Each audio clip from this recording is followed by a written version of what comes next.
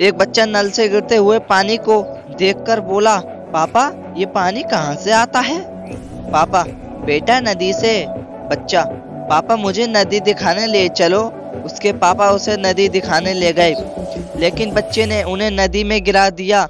फिर बच्चा दौड़कर घर आया और मम्मी से बोला, मम्मी, जल्दी से नल खोलो। पापा आ रहे होंगे।